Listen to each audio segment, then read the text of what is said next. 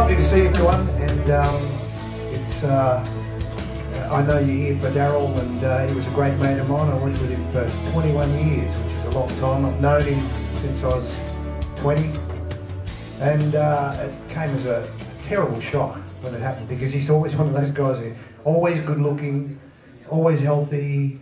So uh, make sure you do your tests and go to your doctors and things like that. That was one of the things he asked me. Uh, when he was in hospital. He said, make sure all our mates just take care of themselves, and it's true. So what I'm going to try and do, this is going to be difficult for me because um, working with Darryl for 21 years, you usually play different parts, and I sing all the harmonies, and he sings the melody. So to, today I've got to try and get my mind around uh, singing his melodies.